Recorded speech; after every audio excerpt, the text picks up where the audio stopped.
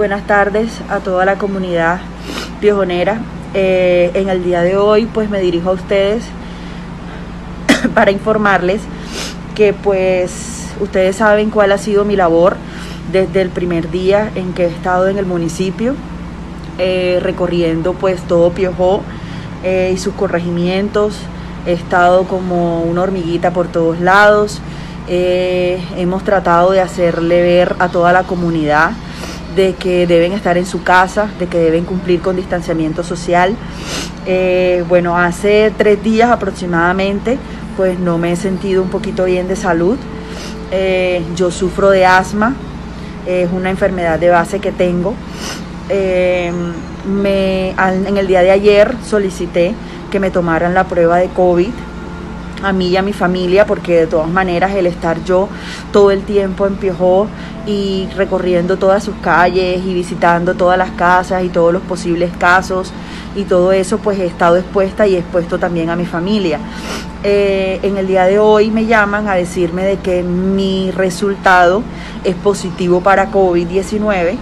Eh, mi mamá, gracias a Dios, y mi hijo son negativos. Eh, por esa razón, pues me van a trasladar a un albergue.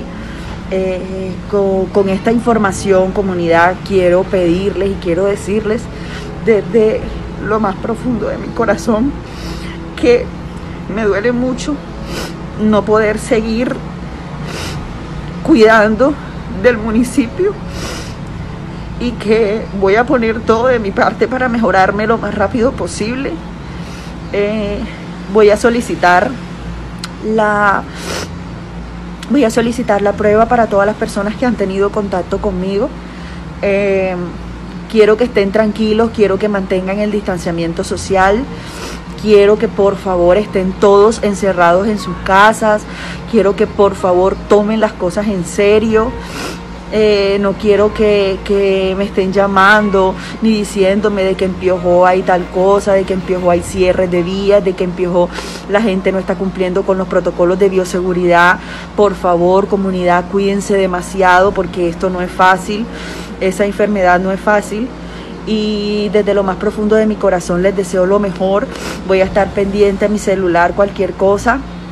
Eh, y pues les estaré comunicando por este mismo medio cómo va siendo mi evolución, aunque hasta el momento eh, los síntomas que tengo son un poquito eh, fuertes, pues tengo dolores en el pecho al respirar, dolores de cabeza insoportables, entonces, por favor, que toda la comunidad se cuide mucho, eh, cuiden mucho a su familia, a sus hijos, a sus adultos mayores, estén en su casa y cualquier cosa siempre a la orden. Voy a estar aquí en el celular pendiente.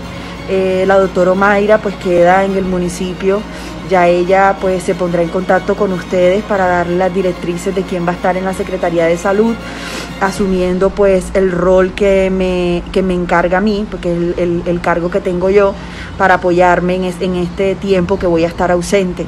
Entonces que estén muy bien, que Dios los bendiga mucho y que se cuiden y cuídense mucho.